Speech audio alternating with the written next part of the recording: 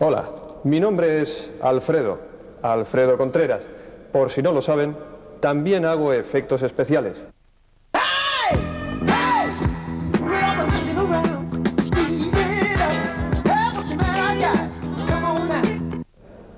Maquillaje.